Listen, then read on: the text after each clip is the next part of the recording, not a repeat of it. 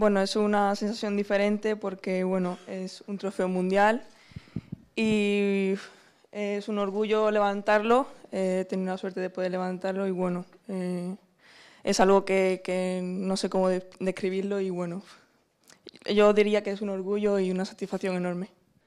Sí, sí, al fin y al cabo es a lo máximo que puede llegar a aspirar prácticamente un deportista y está claro que, que es un sueño poder levantar un mundial absoluto. Sí, sí. Thank you and kia ora. Um, I want to warmly thank the Spanish Federation and FIFA uh, for organising this uh, fabulous event today and to warmly acknowledge our tournament co-hosts Australia.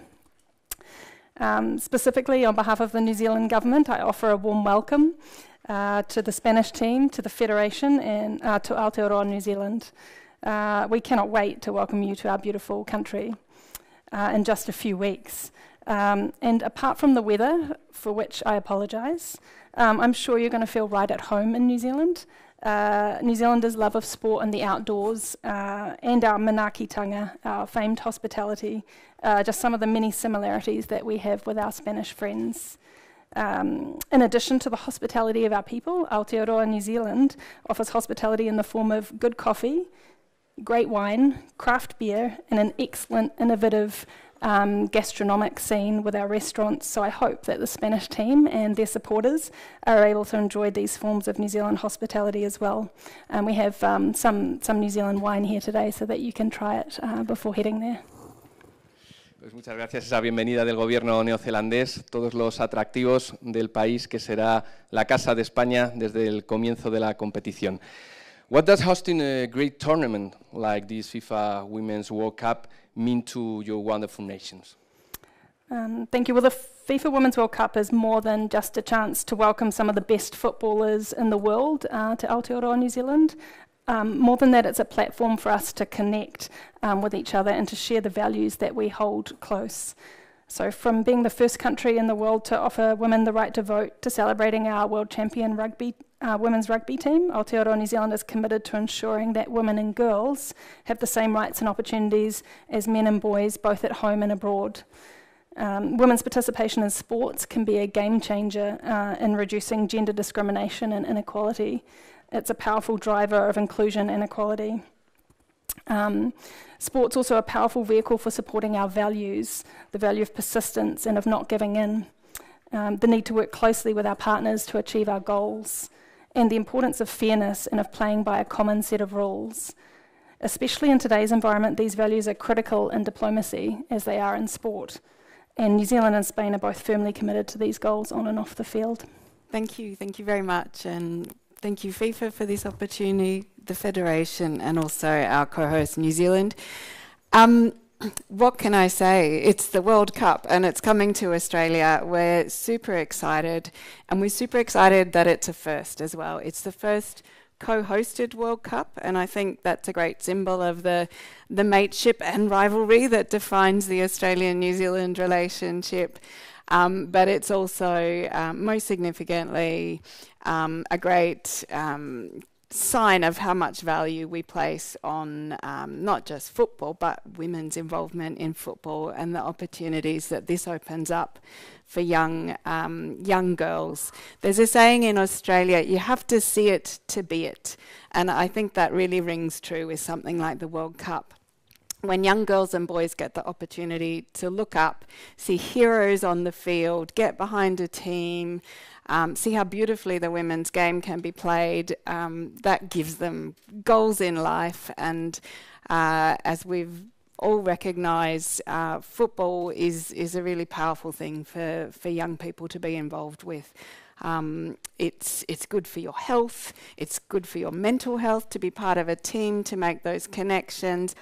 Uh, uh, antes de contestar a su su cuestión, saludar la presencia de las embajadoras de um, Australia y Nueva Zelanda, pero también uh, de la presencia de Andreu con su equipo.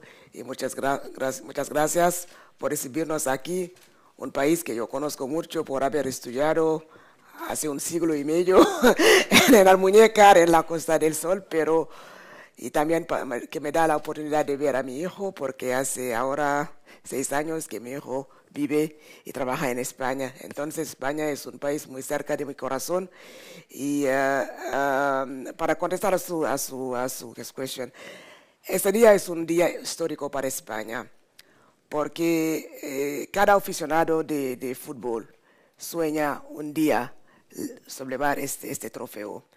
Y como ya le explicó, este trofeo es el más importante en el reino de, deportivo porque representa mucho más que su peso y su composición.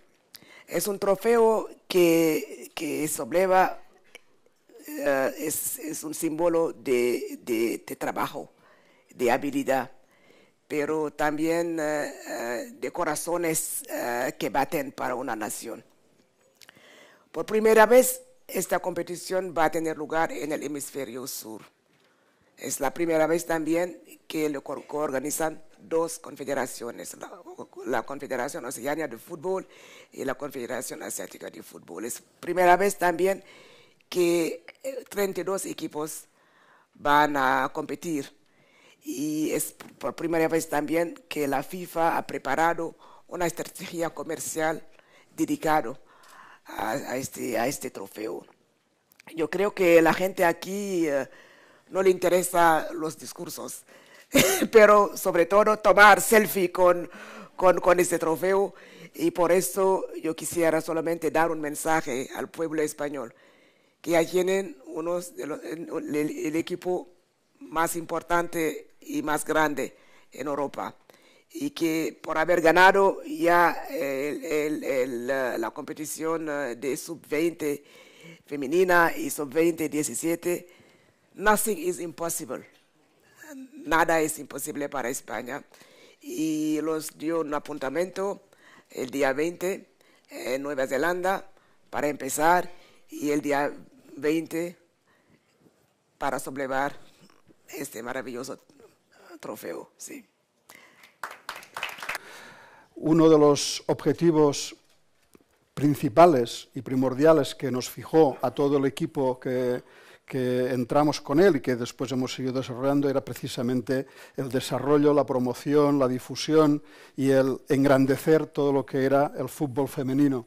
Ese ha sido un, objetivo esencial. De hecho, dentro de, eh, hemos elaborado, se elaboró y se sigue trabajando en un plan estratégico de la Real Federación Española de Fútbol, donde el fútbol femenino tiene un, núcleo esencial y donde eh, se deben desarrollar toda una serie de objetivos. También se ha desarrollado precisamente un plan estratégico específico para todo lo que es la promoción y desarrollo del, fútbol femenino y por lo tanto esa ha sido sin duda alguna una prioridad. Pero una prioridad que no solo es de palabra, no solo es de hacer unos documentos con unos planes o, una serie de objetivos, sino que es una prioridad de facto y con resultados y además con hechos concretos.